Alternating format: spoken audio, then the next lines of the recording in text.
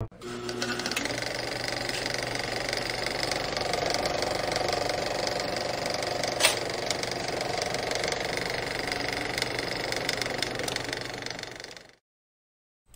hey, you guys, what's going on? Yeah. It's Sunday, and we're back again. New lighting. We, we survived. Yeah. oh shit. Holy shit, dude. Holy shit. Stop it. What's funny is they won't, I couldn't turn the volume down because I was getting a damn notification of something on fucking. Man, you got you got all kind of problems. My shit is fucked up. yeah. My shit is fucked up. I'm telling you, that's the story of my life. right? Yeah. Uh, Anthony says periwinkle. Yeah, that's definitely the color that uh, of the caravan that they wanted.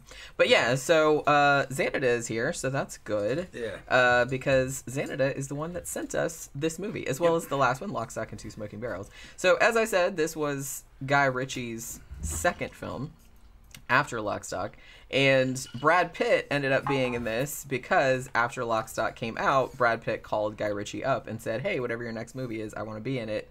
So they let him be in it, and Brad Pitt, I mean. He's good in it. He's really good. Yeah. He's fucking iconic. I kind of feel like this. I saw this movie in the theater. This came out in 2000. And I saw this in the theater when it came out, and I remember really liking it. Like, I remember it being really funny. I hadn't seen it again since then, so I had forgotten, like, a lot of, of the crazy plot twists and everything. But I think Brad Pitt made probably the largest impression, like, on a lot of people, just because of his crazy accent, which was kind of sounded like an Irish accent. But I mean, it wasn't supposed to sound exactly like an Irish accent because he's supposed to be an Irish traveler kind of person, Kinda like an So- Irish gypsy or So something. the so yeah, so they don't they don't sound exactly like Irish. So and also part of the joke too was that he was supposed to be kind of mush mouthed or like nobody knew what he was saying. So I think that was kind of like part of the joke. Xanada said, I only saw this once, but I remember liking it a lot. I'm also a huge Benicio del Toro fan. He's a great actor. Yeah, I love him too. He's awesome. And to be honest, I had forgotten how not in this much he is. Like, well, because the cast of this is so huge, and there's like a bunch of different groups of people, like kind of all doing things out, you know, at the same time. And so he's just like one little cog in this whole like machine of what's going on. So he's really only in it in the beginning because spoiler alert, he gets killed like probably not even like halfway through the movie. Yeah. Right, cuz he gets shot by like the Russian dude. But uh but yeah.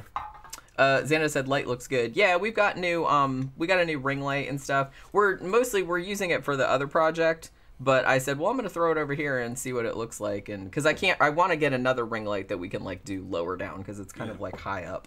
You know what I mean? Because I'm telling you, like a lot of the photos and shit like that that I took yesterday with the ring light, I was like. Holy crap! I was like, I need to get a ring light that I can just like carry around with me all the time and like shine on my face because I was like, ooh, that soft pink light. I was like, look how fucking angelic I look. It's like I don't even look like me anymore. I'm like, that's pretty awesome. I need Yeah, one of. yeah, here's an example. I need one of those to like carry around with me. yeah, that's that's an example of, of, how that ring like shit can Yeah, you're extremely flattering. Oh, it's all the damn yeah very flattering.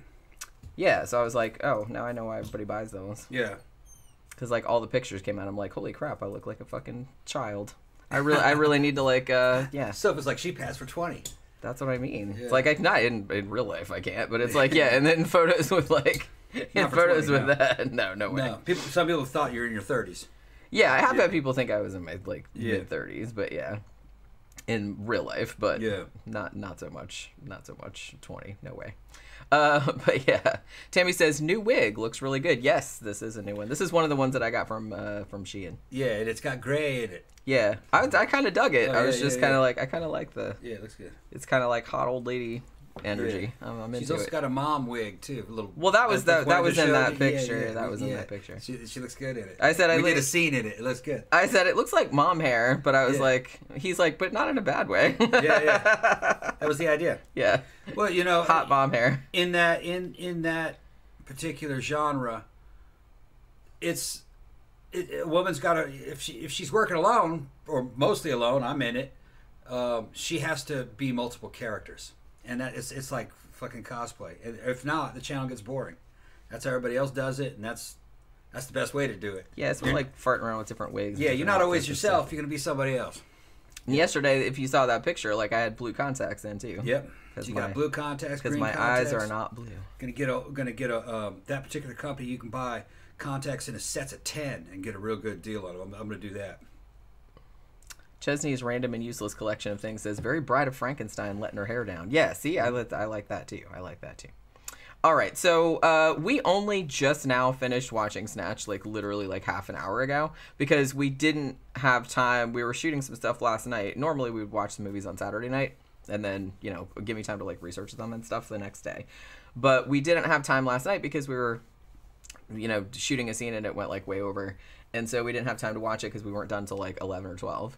And then, um, then I had a bunch of other shit I had to do today. So we didn't get to watch the movie until like literally a couple of hours ago. so we only just finished watching it like literally half an hour It's a good movie. I liked it. Yeah, um did we I I think I like this one slightly better than Lockstock. They're very similar. Yeah, They- they're, the same, they're similar. I mean, they don't have the, it's not the same plot really, but I mean, it's kind of like the same setup where you have like all of these seemingly disparate uh groups of criminals like all doing their own little shit and then it all like intertwines and then like ends up being like a big thing in the end. And so in that sense it is very similar.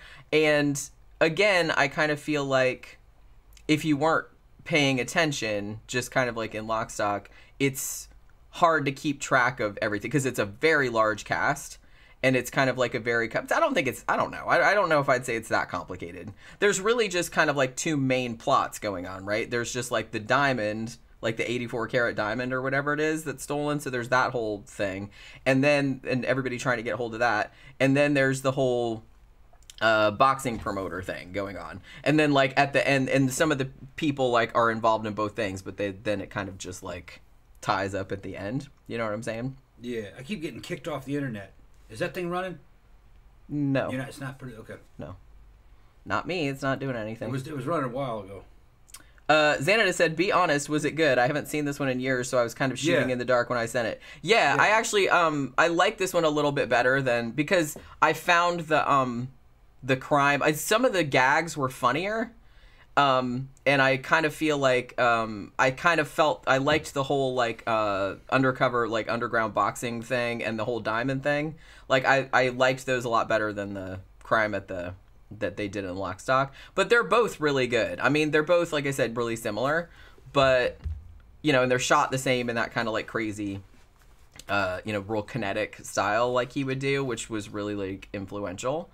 But I think a lot of when this came out, I feel like a lot of critics complained because they're like, "Oh, well, it's just like Lock, Stock, and Two Smoking Barrels," which, like I said, it is.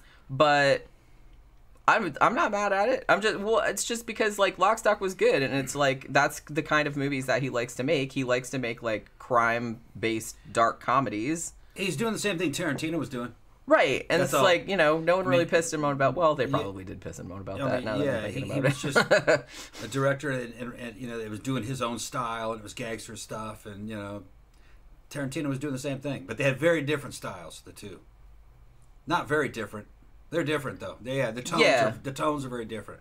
Yeah, I mean, I do kind of feel like a lot of times Guy Ritchie kind of gets called, oh, like the British Tarantino, which I guess is true, like in a very shallow sense. Yeah. In the, you know, like I said, in the sense that they're making kind of like crime caper movies that are like Yeah. dark comedies with a bunch of interconnected Yeah, plot lines. and it's kind of a pulp fiction type. type Right, stories. like I get that, but other than that, like you said, tonally it's very different. They're Yeah. very British, which is what I like about them. Um, and I think I like because some of the same actors in this, like Jason Statham is in this one too. Um, Vinnie Jones is in this one too, and I actually think I, I like Vinnie Jones' character a bit better in this one, just because he doesn't get as much screen time as he does in Lockstock.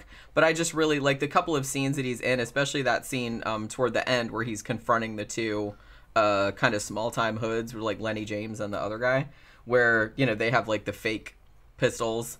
And he sees Yeah. that they're like replicas on the side, and he's Yeah. like all intimidating and stuff. And I love that his teeth are like bullets, mm-hmm. because that was kind of his whole thing was he got fucking. those those are like the they're his bullet tooth Tony or whatever his name is. Like everybody has cool names like that. You know what I mean? Like Jason Statham's character is called Turkish because he says at the beginning it was like named after a plane crash, right? Like somebody was in a plane crash and he was named after the airline, which was like Turkish Airlines. So he got named after that. And then everybody has names like fucking uh yeah, like Bullet Tooth Tony and fucking uh, Frankie Four Fingers. Yeah. That's Benicio del Toro's character because he's like a gambler. And I guess he kept like losing a bunch of money, so like he would lose money and like they would cut his fingers off like for punishment and shit like that. Yeah, and in the tradition of his other movie, okay, and a lot of the British gangster movies that I've seen, the gangsters, the characters, don't know anything about guns. Uh, they say fucking crazy shit about guns that isn't true. They admit to not know anything about guns. They don't know how to practice with them. Um, they, uh, if you were, if all you knew about guns you were learning from British gangster movies, you wouldn't know anything. but there are some cool guns in it. I know I got gun guys in the audience. Um, they had a Spas 12 shotgun that had been cut down with a fucking shortened fucking magazine tube underneath of it. And it looks wicked as shit. Uh, just a famous shotgun from the 80s. Same one the Terminator was using in Terminator 1 to shoot at the police station. That look, that shotgun looked mean as shit. There wasn't much to it though, really. You know, nothing compared to say something magazine fed like a Saiga 12. Um, it was just kind of wicked looking. I think that think in, in in the version that they showed couldn't have carried any more than five rounds. Um, main bad guy there uh, has a Desert Eagle 50. Yeah, Bullet Tooth Tony. Yeah. Bullet Tooth. Tony, which I fired him in 357 Magnum. I fired him in 44 Magnum, and I fired him in 50. And he shoots that 50 in this in this in this uh, movie. Of course, it's blank firing. You know, it's not the real thing, but uh, he rapid fires it like it's nine millimeter. And if if you've ever shot what a fucking Desert Eagle 50's like, no, it's fucking wicked. Uh, it's not something you can rapid fire the 44 Magnum is about like shooting a fucking 1911 45. Even that's kind of tough to rapid fire, but uh, fucking 50 is like even more of a fucking boom, boom. You know, fucking slow, a lot of high, kind of high recoil, but soft and long. Takes place over a long time. Um, they had some interesting. Uh, they had an interesting fucking HK. It looked like a HK P7. Might have been the P14, but it's hard to tell and uh, some kind of a Steyr. I think I think it was I think that was a Steyr GB. I think is what they called it. Which was, and in this movie, it turns out that they were actually blank firing replicas. Yeah, They didn't. They weren't the real thing. They didn't have it. that was how they got hold of them. Yeah. Because, like I said, the two guys they were kind of like small time hoods, and they Yeah. worked at a pawn shop, and they were in over their heads. Yeah, I don't know of any blank firing replicas. Maybe Japan made something like that. I mean, they made replicas of just everything. Things that we. What's funny is that in America you can get those guns. That's all legal and easy to get. As long as you're not a felon, you pass a background check, you can get it. You could never sell a replica like that, though. Uh-uh, not here in the United States, because that's too close to the real thing, and they don't want people fucking walking around with something like that. You'll get shot. You know. Um, that matter of fact, there were some replica AR-15s that were, I think they were um, some kind of a uh, paintball, not paintball. What do you call it? Airsoft. Yeah. Uh, an airsoft AR-15s, and they wouldn't let them in because the lower receiver, which is the bottom part of the gun that carries all the trigger parts, was an exact replica. So here you could just put the full auto parts in it, and there's your full auto machine gun because we have the real uppers and the lowers and everything else to activate that. It was the correct aluminum and it was the exact correct shape. It would accept full auto parts. So they wouldn't let that in, and that was something from Japan because they don't have guns over there, so they're not worried about somebody activating something. You know, over here you can activate. No, although over, here you can get machine guns legally too, so it's not really a big deal. Most people aren't really that interested in them uh, because it, why and how machine guns or full autos work, they're not that attractive really. Their full auto selector switches on military firearms really only exist because the semi-auto trigger is so shitty you can't pull it very quickly. So you flip it over to a full auto selection and it'll pull the trigger for you. Um, but you can now drop in semi-auto triggers that are so sweet you can pull that trigger just about as fast as a machine gun can fire. Um, but British flicks always kind of fucking trip me out with the shit that the characters say about guns. It's just whoever's writing doesn't know what the fuck they're talking about. Well, and the thing too is that a lot of the joke of Guy Ritchie's movies is that these are criminals that don't. And I mean, it's a black comedy, Yeah, so it's they like don't they, know anything. they don't really know Yeah. what they're doing, and they don't really. Yeah. So a lot of the humor kind of comes from their cluelessness. Yeah. Although I will say one of my favorite, like, and it's and they don't even um like lean too hard into this, but, but this just like made me laugh. Was the scene toward the end where Bullet Tooth Tony, where there's that big confrontation like in that hallway, and Bullet Tooth Tony's like shooting everybody with that Desert Eagle, Yeah. and he shoots Boris the Blade, like the Russian guy Eh. and they had made and they didn't reference this like later on in the movie so they were counting on you to remember but earlier on in the movie like re- way near the beginning they were talking about boris the blade and it's like how like it was impossible to kill him or something like that so like at the end when, when bullet tooth tony is like shooting him and he's like off screen but he's like shooting at him and it's like he shoot him and then there's like a couple seconds of quiet and then you hear Boris like say something, and then he just keeps like fucking shooting him, and he won't fucking die. And it's like, and they don't show Boris, which makes it funnier to me. Like it's just like a couple seconds of silence, and he's like, and then he'll, he'll say something crazy like he's not Yeah. dead yet, and then he's like, "Would you just die?" And it's like that just made me laugh because it's like they, like I said, they didn't reference that. They referenced that one time, like towards the beginning of the movie, that he was like impossible to kill, and, I thought that there, was funny. there are there, you know, the whole Desert Eagle angle that she's talking about. There, that is on the American side of of, of the audience watching that, especially the action side, the guys that like action movies. There's kind of a joke about the Desert Eagle. The Desert Eagle was a fine pistol. All right, it was big, it was heavy, it wasn't something you could really conceal. It came out of the 70s in Israel where they were trying to make a police pistol that could fire 357 Magnum that was semi-auto that had no recoil that their female officers could carry, and it did that. All right, it was big, light recoiling in 357. You could rapid fire it. It was great, really, and it kind of made sense in that caliber. But when Hollywood got a hold of that pistol, especially when it became 44 Magnum, that thing was in every fucking action movie. It Yeah, became a that. meme. yeah, Uh, the the fucking Desert Eagle is the mullet of fucking pistols. All right, that's a good yeah. it's the mullet of pistols. that's that's that's Yeah. a good analogy. That's a good analogy. Everybody fucking every movie had that thing in it. Yeah. And they weren't cheap though. I'm not saying they were cheap. It's just that they were stereotypical. You know, they were they were they were a meme. It was they were meme cannons. That's what Yeah, they were. meme cannon. they were a meme cannon. Fire off the memes. Fire off it's the meme cannon. That's what it was. Uh, they were good though, but just But like you said, it seemed like Guy Ritchie knew that, and Yeah. it's like that's why he specifically Yeah. made that like kind of like a little bit of a plot Yeah. point. That would be the last thing you'd want to carry in combat is a fucking Desert Eagle 50. That same weight you could carry an AR-15 carrying 30 rounds. You can't conceal either one, so why? It's outside the range of a pistol, so you might as well just make it a rifle. That thing's fucking huge. I I couldn't con- conceal that, and that's all pistols are for is concealment. If you can't conceal it, then it's well- useless. might as well Throw be away. waving it Might- around. Might as well just have a rifle. so you know, it's good for hunting though. Uh, and the Israelis didn't care about concealment because it was going to ride in a holster for a policeman, you know. But uh, in the U.S., some places like here in Florida, you can you got constitutional carry. You know, everyone has a right to carry a weapon here, but not in the open. It's got to be concealed. They don't want people on, on the hip walking around. Other states is exactly re- the reverse. It just depends on how people interpret the safety. You know, uh, you can you can't consider you can't conceal a fucking desert eagle.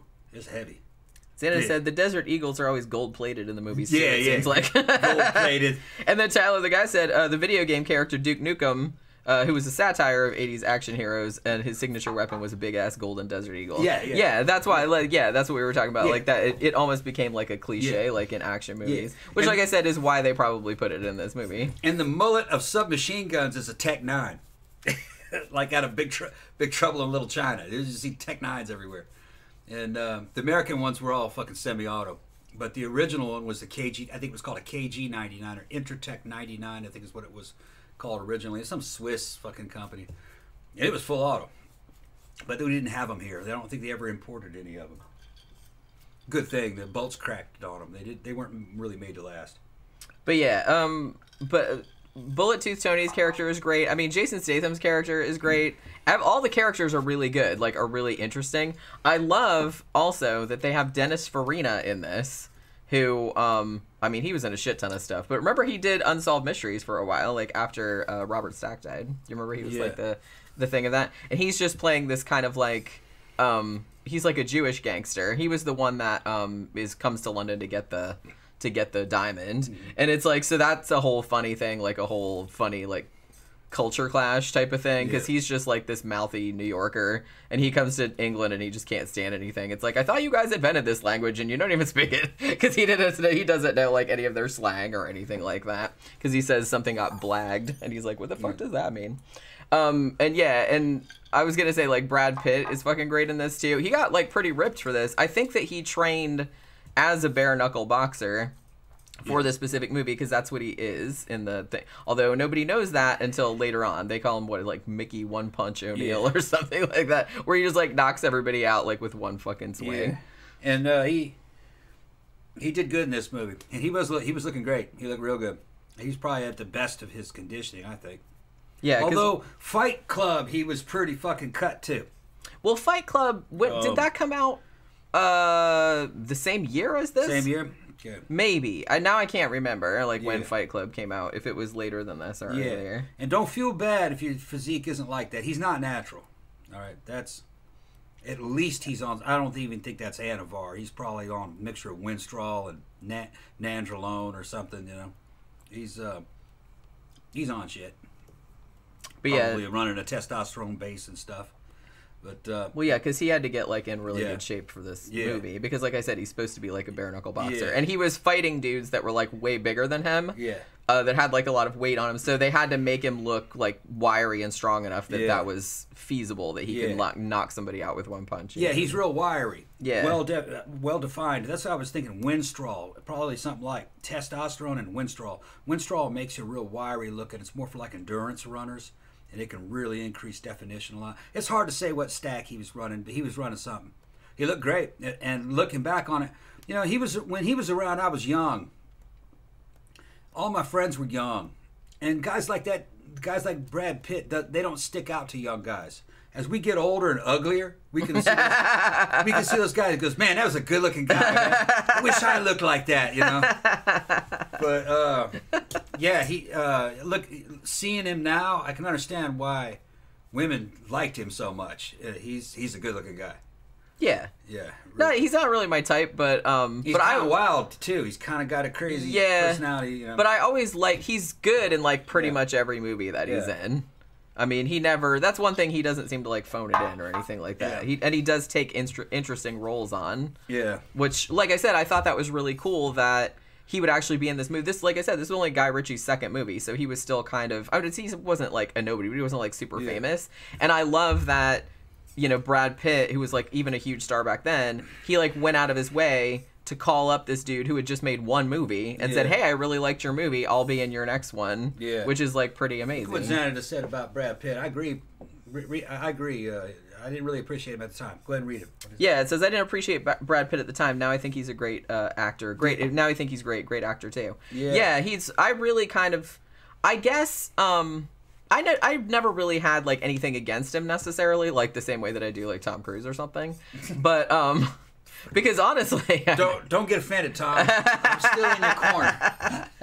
this Tom still loves you. Yeah, but um. a, I'm another Tom in the Short Man Mafia. Oh, got- by the way, if you weren't here on Friday night, um, where uh, where Zach sent, we were talking about Tom Hardy, and Yeah. Zach sent Tom Yeah. a picture of Tom Hardy that he had posted on his MySpace from back in the day, where he's like. He was like naked, but you could only see like his butt really, and he and his he had this amazing back arch. back arch. I was like, Yeah. shit, man, I just, that looks like could some have only contortionist shit right female there. porn star. He was just he was ready I'm for like all his comers. butt was just like up like that. I'm like, that's an incredible photo. It's a it's an amazing photo. It's from his fucking MySpace page Yeah, back in the day. like from back in the day, like before he was super famous. He's nude, laying down, on, face like down face on down, bed, like stomach down. and yeah. next to him is a fucking Mirror. mirror, and he's touching it, and he's on the sheets and shit, and his fucking ass is arched up. It's like so- something. it's incredible. star- Like, the something- arch is incredible. Yeah, I was just it's like, that doesn't even look real. Yeah, it's That looks like photoshopped. yeah.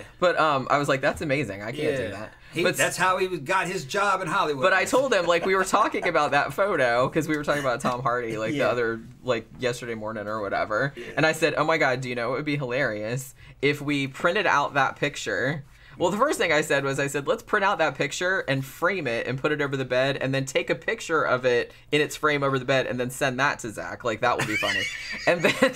I was like, let's do that. Come on, let's create And then and then Tom's like, oh, you know, it'd be even better than that if we took up that picture and a picture of Tom Cruise like in some kind of sexy, like either from Risky Business or from Top Gun with his shirt off or something like that, and then put him on either side, and then put a picture of Tom in the middle, so it's Yeah. like the three Toms, and then we'll hang that over the bed, and then we'll. I was like.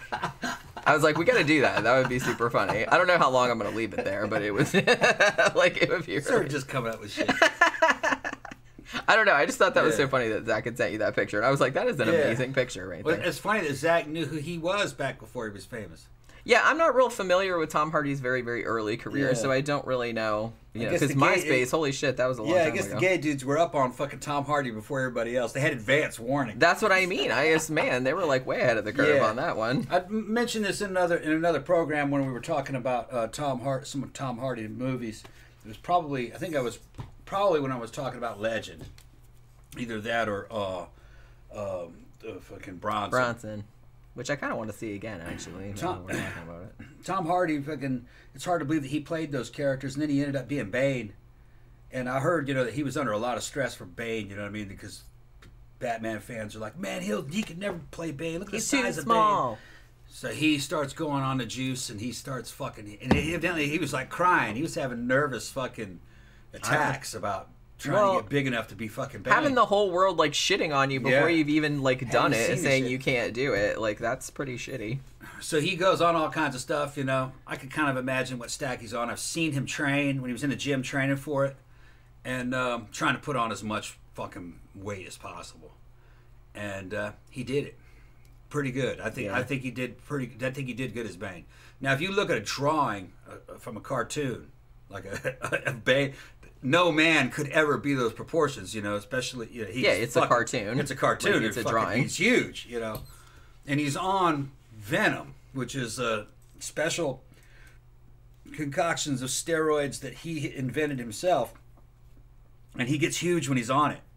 Eventually, he learns to ways to stay that big while he's not on it. But you know, fucking. So the character's on steroids, mega steroids. And I just think it's fucking amazing that you know Tom Hardy's commitment to acting and com- and commitment to I guess you could say self development. When you see where he came from, early photos of him, he was like a stereotypical pretty boy. Yeah. He was like a Macaulay Culkin type. Well, Tammy says he uh, he won a modeling competition Yeah. in his early days. Yeah. Yeah, And he seemed like he was very slender, very good looking. He's a very good looking dude. yeah. He's gay bait. You know, gay dudes would fucking love that. Yeah, exactly. You know, but you look at him now. He's fucking pretty big. You know. Yeah. For a guy who's didn't have some kind of special fucking genetic gift to- for size, you know, it was just at random and training and fucking proper hormonal support and diet and, and willpower. You know, you got to. Uh, he's. I, I got a lot of respect for him. He's a great actor. Yeah, he's great in everything. Yeah, he's good him in. and he's just got a lot of willpower. You'd have to have willpower to get that done. So I- Yeah. big respect.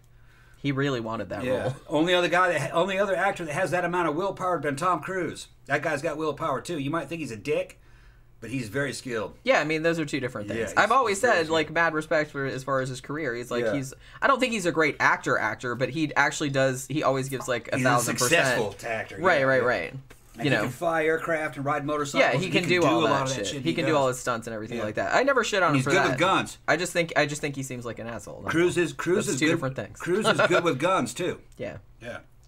Uh, Zach says Tom Hardy's ass is certainly big enough to play Bane all by itself. Yeah. Heyo. all right. Zach says, uh, "Awesome hair, Jen. Thank you. Did you talk about the part yet where the big black dude can't get out of the car? That's my favorite part. Yeah, the big black dude was at the table playing cards with 007 in Casino Royale. That's You know, right. so I, was knew, like, I "Oh, knew I recognize recognized him. Yeah, I knew yeah, I yeah, yeah. recognized him. Yeah, I didn't realize that he had speaking roles in other movies. I didn't know he was a pretty famous British gangster actor. Everybody Yeah. in this, like Yeah. if you've seen a lot of British films, you will recognize pretty much everybody in here because it's like there. Who was that Scottish dude that was in this that played? Uh, what was his character's name? Mullet. He was in one scene that Bullet Head Tony like pulled him in the car by his tie and then like dragged him along like with his head in the window. Like that dude has been. That dude was in Trainspotting and he was in. Uh, I think he was in some Mike Leigh movies. I want to say. But yeah, he's like, and part of his thing too is I think I'm pretty sure he's Scottish, and he has like a very very thick accent. So they always kind of like put him in those kind of roles. You know what I mean? I think my favorite part of this, because that is great. I really like those three guys together. Because and um, Lennie James like playing kind of like the, I guess he's sort of like the brains of the operation or whatever. And he's fucking great in this. He's Lennie James is great in everything. I love him. And I feel like you, well, you you had you saw him on Walking Dead, Yeah. And um, No, he's great on Walking Dead. and I think you didn't realize that he was British either, because he plays an American That's on there. another one of you know I fucking I give credit where credit's due, man. When it comes to the theater, the British fucking got it. At least if the if the language is English, it's gonna the British actors are the best. You know, going all the way back to the fucking William Shakespeare, man. They they, they, they knew about theater. They're very good, and they're real actors. Yeah, Hollywood actors, eh, Yeah, some of them are into it. Some of them are into it for like the craft yeah, of it, and some of them not so much. Some of them are into are into it because of the casting couch, and they were good at parties, and um, you know, sleeping with the right people, and politics, and yeah, no. Because you know, even an average person, you can give them some training and make them a pretty good actor. Get them through a Hollywood movie. They won't be like a fucking Shakespearean thespian actor. yeah, they're not going to win any Oscars. They're not gonna be that, but you can get them through an action flick, and that's where a lot of them come from. Yeah. Because I think a lot of them are just kind of like, well, I just need to know enough acting skills to like make millions of dollars, and then I'm happy. Do this part. Yeah. Where whereas you know you have people like like you said like Tom Hardy or well he's British but um Yeah. or like Christian Bale or somebody like that who actually go the fucking extra mile and are like hey I'm gonna starve myself down to 80 Yeah. pounds for this movie or hey I'm gonna put on 300 pounds or Christian Bale be the closest to the guys like Hardy and all those. You know, Tom Cruise too, but yeah. Like you I have to be a little bit crazy, I Yeah. feel, but that's kind of true of any creative endeavor. I kind of feel like all the best people at it are a little Yeah. bit crazy. Tom Cruise, for financial reasons, he, he doesn't have a big range. He has to stick within a certain kind of role because that's where he that's his fans are going to respond to that. But I saw him in Collateral as a fucking villain. He was great, great. He, yeah, he, he can do he can do a role. Yeah. It's just will he? Because that might almost, Yeah. almost be a loss of money for him. Yeah. You know. Um, Zach says my other favorite part of this movie is Alan Ford's accent. Alan Ford plays a great fucking. He's Bricktop in this, by the way. He's a great. I love his whole big long thing about uh feeding the people to the pigs, like cutting up the bodies and feeding them to pigs. And I love that he's just sitting there very casually, like talking about it on the couch, like while his lackey like brings him a cup of tea. Yeah. Because of course it's England, so you have to have everybody like bring you a cup of tea, even when you're talking about cutting up bodies and feeding them to pigs. I think. I don't know. I have a lot of favorite bits in this. I think my my whole favorite recurring gag is the bits with the dog because I love the shit. Like the dog, they get it from the quote unquote pikeys, like the Irish traveler group, because they give him a dog with every deal, I guess. So they get this dog, and the dog pretty much immediately like swallows a squeaky toy. So like for the rest of the movie, like every time, it's not like I like that it's a gag, but it's not like overdone. You know what I mean? And they don't like call a lot of attention to it. But like whenever the dog is in a scene and whenever he like kind of moves or barks, he kind of squeaks a little bit, which I think is really funny. And then I like too that the that him eating the squeaky toy near the beginning of the movie is kind of like pays off later on when he actually does eat the diamond. Like it's like foreshadowing. You know what I mean? So I Yeah. thought that was really good. And that whole scene too, where they find out that the dog took the diamond and swallowed it, and then they're like, so then Dennis Farina's character is like telling uh, Bullet Tooth Tony to cut open the dog, and he won't do it. Like even though he he'll kill people, like nothing, but they tell him to like he's like, well. Get go inside the dog. He's like, what do you mean go inside the dog? He's not a tin of baked beans, Yeah. and it's like he won't fucking do it. I think that's I think that's a I think that's a, a, a typical fucking thing though. I think Yeah. that too. That's why it's Yeah. like it's funny. kill the animal. It's man. funny, but Yeah. it's like you understand it though, because it's like, yeah, they kill people, but they're other gangsters. Yeah. You know, the dog didn't do anything. The dog is innocent. It's kind of a Western thing, you know. Dogs and cats are pets, and horses, you know, they're, they're, they're pets. That'd be like killing a child, Yeah. you know. So that. And I, yeah, and I think people, even criminals, do kind of think about that Oh, the same way. yeah. So that's why I kind of thought that was funny, but I liked Depending that. who they are. I liked that too because Yeah. Dennis Farina absolutely did not give a fuck. He just wanted to cut the dog open and get the diamond out because it's an 84 karat diamond. But I love that like the the British guy was like, no, like I'm not fucking doing that. He's not a tin of baked beans. Um, Tyler, the guy said the difference is in England you mainly get actors and in America you mainly get movie stars. Yeah, I hope that makes sense the way I phrase it. And I mean, you know, we do have a lot of like actor actors here too, but it just does seem like.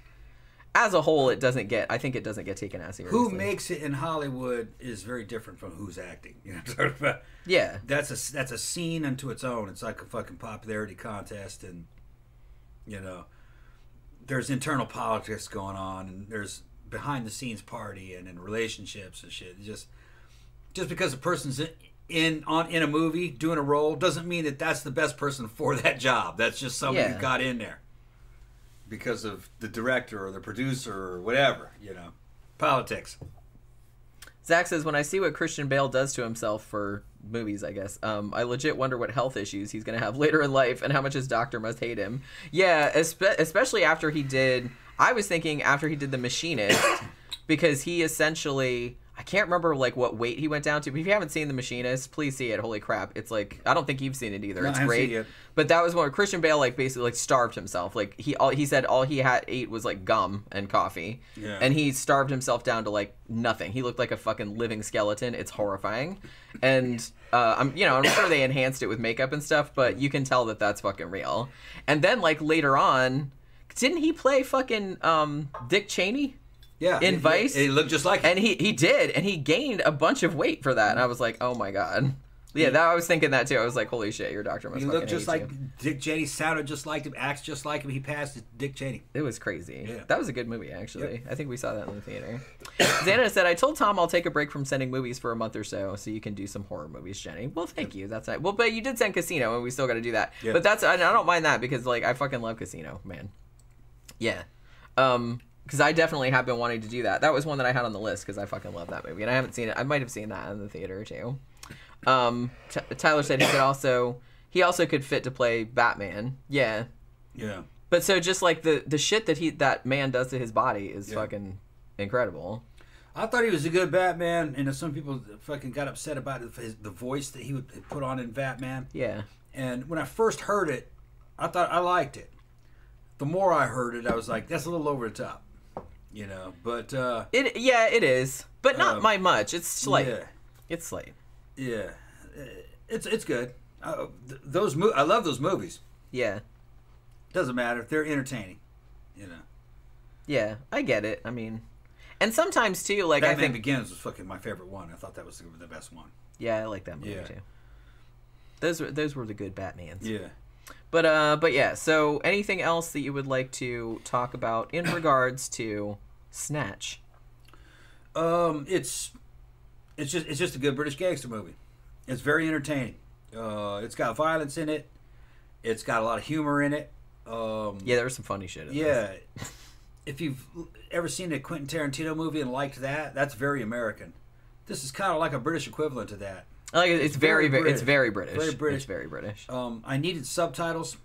I didn't know what the fuck they were talking about. and he and he had to ask me like um a couple of times like if they were. if they used like a like a slang term. he yeah, had to I was like, me what the hell's the- that? and um, they're doing stuff like in the dropping H's off the beginning of fucking words, and I was Yeah. like, what the fuck did he they don't say? um they don't do that everywhere like Yeah. um that's I mean that these are set in London so that's a Cockney thing. yeah, Like some of the other um accents do that too, but some of them Yeah. like hit the H really hard, but a lot of them do kind of drop it. yeah.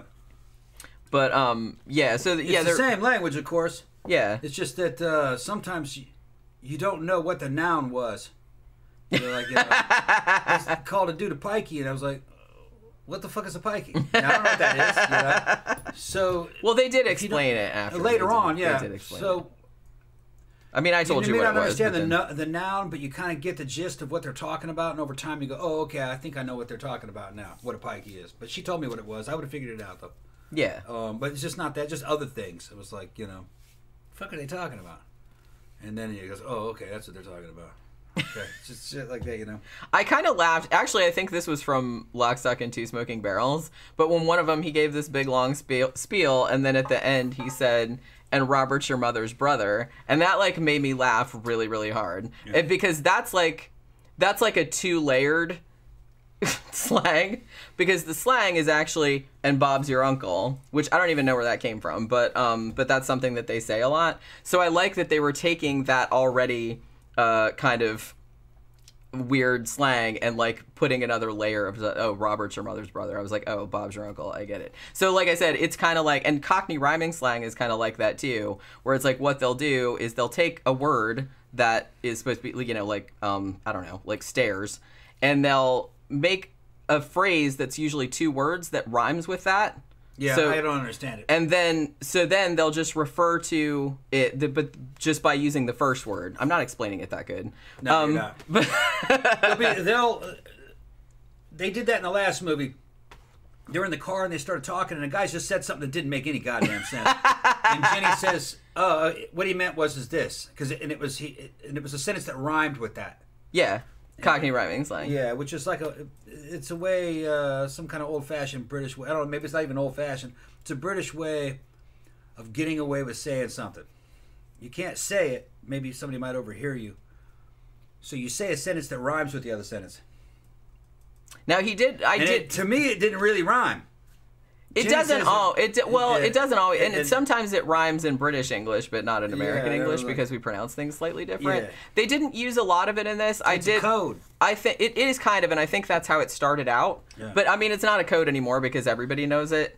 But uh, well, not everybody, but I mean, kind of everybody over there like kind of knows. But I think the only British or Cockney rhyming slang I heard in this one was I think Bullet Tooth Tony said porky pies at one point, which means lies. But usually they would just say porkies. You know what I mean? Pork pies is what the phrase is, but they would just say porkies, and that means lies. So, do- you know, you're telling me porkies. That's what they would say. And I think that he said another one too, but I can't because I remember like thinking of it, but I didn't. I now I can't remember what it is. But that was just the first one that came to mind. I'm always like fascinated by. That's why I'm always fascinated by like British slang and stuff because I think their slang is a lot more creative than ours, um, because they're they're super into like wordplay and puns and all this other kind of stuff, and it's like really interesting to me because I'm really into language and Yeah. and shit like that. So it's like It's not in Southern. it's a lot more literate. Yeah. You know, so I find it like a lot more interesting and like funnier than our slang. Our slang is usually kind of just like It's very much in your face. yeah, You know not what I mean? always. I kind of feel like with the advent of internet slang, it's kind of gotten more creative. I feel like because it's more crowdsourced, I guess. Yeah. But American culture didn't play out that way. It's it's not Southern. It definitely wasn't Wild West. You couldn't do that. You had to be careful what you said, and you had to be clear. Being plain spoken was a way of keeping yourself out of a lot of trouble. So I think you- you're dealing with an armed population. All right. Um, if you're too witty, a person, especially if they've been drinking, might consider might read into what you said. Just uh, he insulted me, and then they'd kill you. So you had to be real plain and polite, and you um, you could you don't want to say anything that would have alternate interpretations. You could get hurt. So I don't think those cultures, American culture, kind of prevented. The Cowboys said that you must ride, shoot straight, and speak the truth. That's fucking basically so. Witty, being witty, might be misinterpreted as lying. So I It's- just don't think you know. I mean, it's just a cultural it's a cultural thing, yeah. It was just I kind of feel like you know ev- ever since well shit I was gonna say going back to Oscar Wilde, but I'm sure it was like way before that. But so wittiness or being like well spoken was always something that, or Yeah. or having like a clever Right. play with words was always like something that was more valued, like over there.